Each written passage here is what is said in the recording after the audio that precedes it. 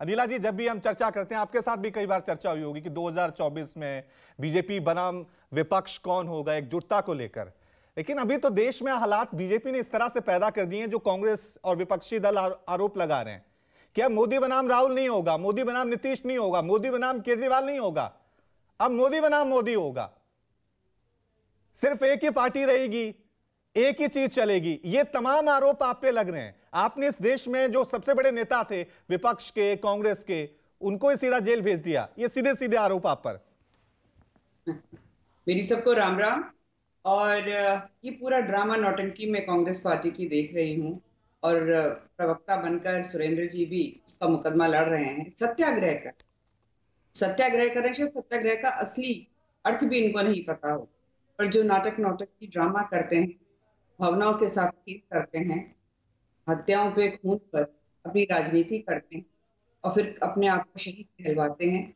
तो सीधी सी बात है सत्याग्रह अगर आप सोच रहे हैं सत्याग्रह कर कर, बापू को आप बन जाएँगे तो ज़रूरी है अपने जहन में बापू को ज़िंदा रखना सत्याग्रह करने से कोई महात्मा नहीं बन जाता।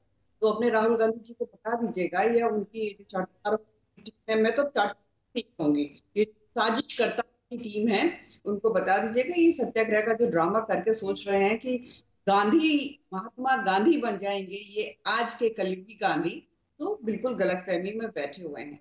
कल मैंने राहुल गांधी जी की पीसी भी देखी थी, और जिस एरोगेंस के साथ, जिस अहंकार के साथ वो उत्तर दे रहे थे, मुझे बहुत ज़्यादा ताजुब नहीं हुआ, क्योंकि शायद उनको इस प्रकार मीटिंग की गई, उन्हें बताया गया है कि साहब आप बराबर मतलब पॉलिटिकल अपोजिशन में जो बैठे हुए हैं लीडर्स सबसे ज़्यादा पॉपुलर आज की तारीख में आप हो गए हैं। और आप इसी तरीके से करते जाइए। आप झुकिएगा नहीं। सावरकर साहब जिनको दो लाइफ इम्प्रिजन मिले थे, अनेकों उदाहरण ऐसे हैं कि देश के लिए उन्होंने क्या किया, आप जो है उनको भी गाली दीजिए।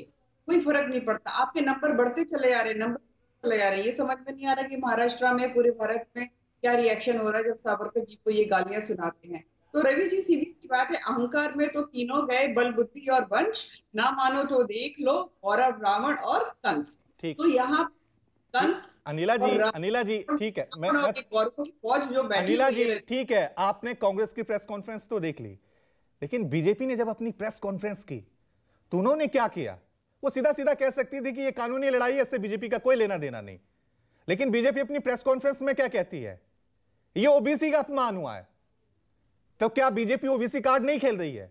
राहुल गांधी अगर विक्टम कार्ड खेल रहे हैं तो बीजेपी ने इस मुद्दे को लेकर क्या ओबीसी कार्ड नहीं खेला? क्या सियासत नहीं हुई?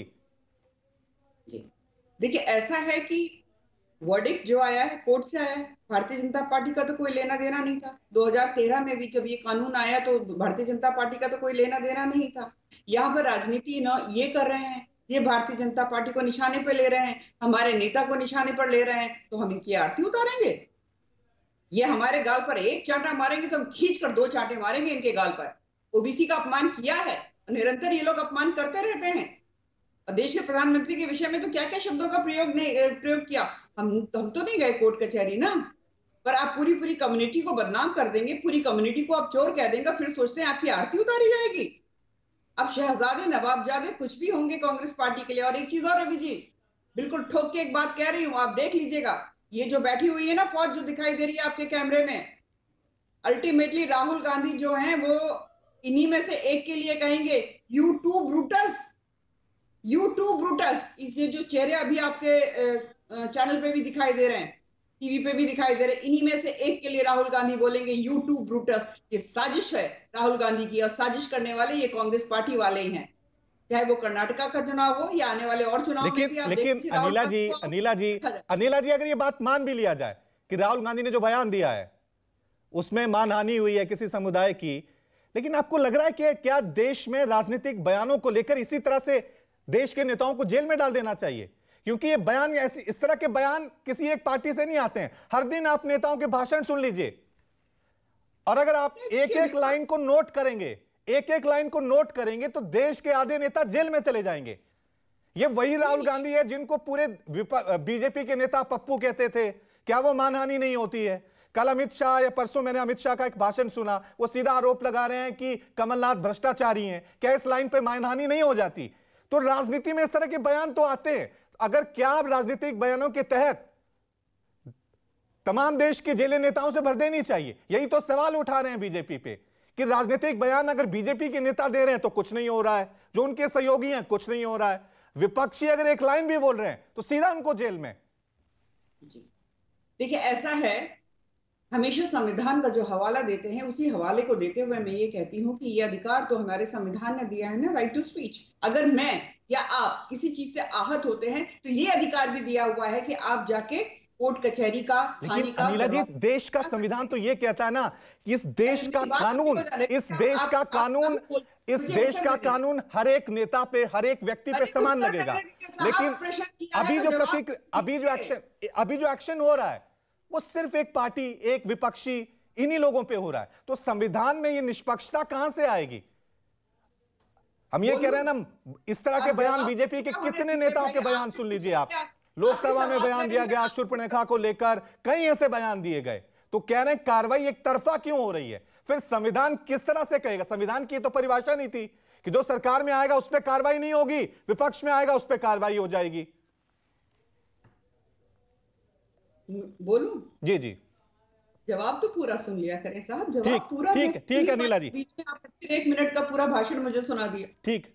देखिए, ऐसा है, मैंने आपको आपके हाथ पकड़ के रोके हुए हैं, सुरेंद्र जी के हाथ पकड़ के रोके हुए हैं, कपीश जी के हाथ पकड़ कर रोका हुआ है, अनुराग जी का हाथ पकड़ के रोका हुआ है। अरे, जाइए ना, जाइए कोर्ट कचहरी, जाइए थाना। अनिला सिंह भारतीय जनता पार्टी ने रोका हुआ है क्या? अगर आपके नेता गलती करते हैं, उसकी साफ़ सफ़ाई पोछा हम लगाएँगे क्या? 140 करोड़ की आबादी वाला हमारा राष्ट्र है। एक एक नागरिक, चाहे वो कोई नेता हो या आम नागरिक हो, चाहे वो रिक्शा पुलर हो, उसको उतना ही अधिकार है, बराबर अधिकार है। अगर किसी को भी लगता है कि अनिला सिंह के कहने से कुछ वो आहत हुए हैं तो जाए ना कोर्ट कचहरी। कोर्ट कचहरी की में जो वर्डिक्ट आता है, वो कलम लेकर के हम लिखवाते हैं। ठीक है। नमस्कार, मैं हूँ मानक गुप्ता। अगर आपको हमारा ये वीडियो पसंद आया हो तो इसे लाइक और शेयर ज़रूर करें। और हाँ हमें सब्सक्राइब और फॉलो करना ना भूलें। ताकि आप देश और दुनिया की कोई खबर मिस ना करें। तो जुड़े रहिए हमारे साथ और देखते रहिए न्यूज़ 24